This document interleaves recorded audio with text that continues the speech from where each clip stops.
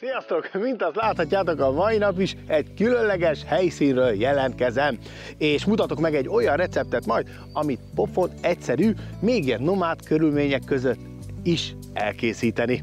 Hát szóval ez a kis tég most, ami otthon ad nekem, az lehetővé teszi, hogy egy ilyen kis húsgolyót egy húsgolyó receptet mutassak meg nektek, ami nem sertésből, nem pulykából, nem marhából, hanem kapaszkodjatok meg, vadhúsból fog készülni.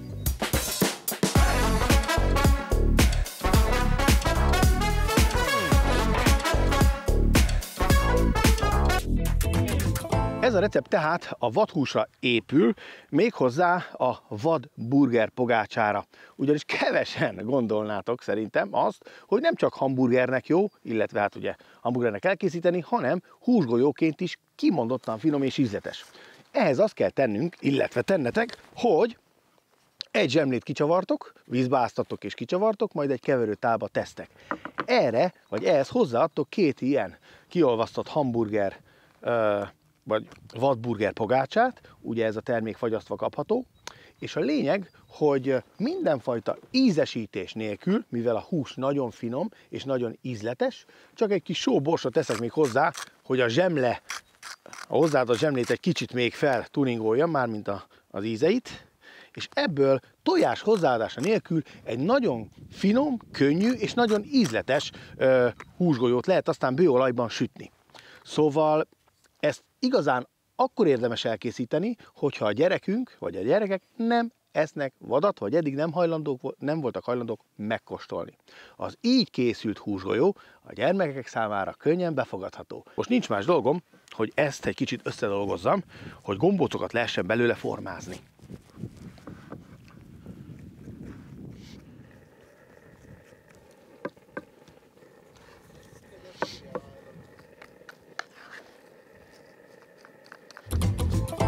Szóval most már sikerült is összeállítanom magának a gombócnak a, az alaptésztáját, úgyhogy tehát a zsemlével kicsit összekevertem, és hogy a közelebb hajóztok hozzám, kijövök ide a szélére, felenesek, akkor meg is tudom mutatni. Nézzétek meg, milyen gyorsan és milyen egyszerűen egy krémes állagú szósznak is, illetve golyónak kiválóan alkalmas kis tésztát, illetve húsmasszát kaptunk. Na, akkor jöhet a húsgolyóknak a kisütése. Nagyon egyszerű, golyókat formázunk és belehelyezzük bő olajba. És a nap is kisütött? Hát hihetetlen. Pazar.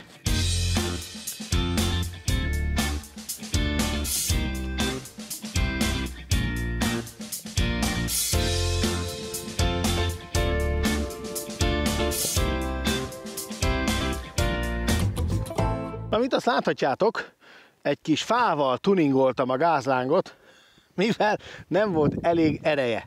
És ilyenkor egyébként ez egy nagyon jó tip, trükk, praktika, hogy néhány szárazabb fadarabot tesztek a gáz rózsa fölé, erre helyezitek rá az edényt, és már is nézzétek meg, sokkal nagyobb fűtő érték áll rendelkezésre.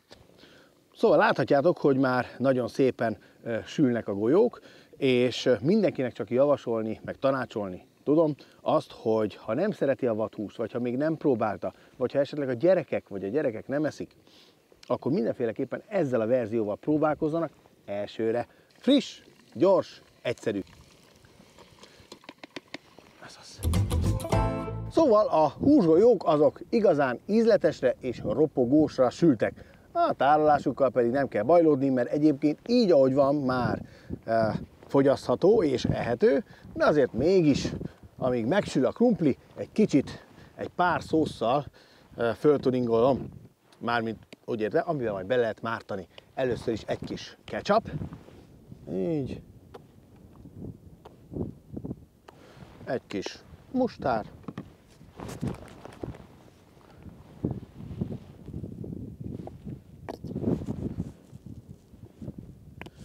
és a majonéz helyett a saját szószomat ajánlom mindenkinek, ez úgy az annyira azért nem csíp, van egy kis sütőtök, meg egy kis szarvasgomba is, és azért picit csíp, de igazán pikánsá tudja tenni ezt az ételt is. Minden szósz közepébe csak belehelyezek egy szép kis vadhús golyót.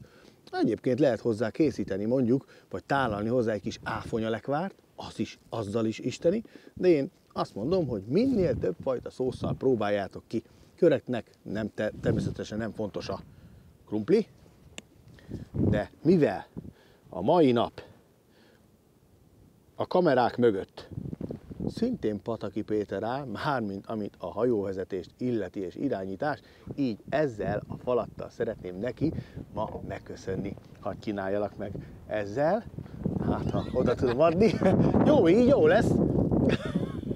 Gyere egy kicsit közelebb, ha ide farolsz, nem egyszerű művelet. Na jó, addig elmondom, hogy remélem ezt a receptemet is el fogjátok készíteni, és kipróbáljátok a vadhúst, megkóstoljátok, és mindenkinek elkészítitek a családban, hiszen azért ne felejtsük el, hogy ennél tisztább húst, amit a vadhús íze és minősége jelent, ennél azért tisztább nem sok van. Úgyhogy egyetek sok vadat, mert jó falat, és hát Péter is itt van közben, gyere, és akkor engedd meg, hogy hiszen Péter vezette a hajót, irányította, hogy ezzel a vadhús golyóval Vigyázz a késre. Na milyen? Mondjam a Frankó? Nagyapám vadász volt, úgyhogy én sokkora tettem gyermekkoromban, de ez tényleg nagyon finom volt. Akkor nagyon örülök. És Gyerekeknek nagyon jó ötlet. Akkor szuper. Hallottátok a séfet is. Minden jót, sziasztok! Parancsolj! Köszi, Peti!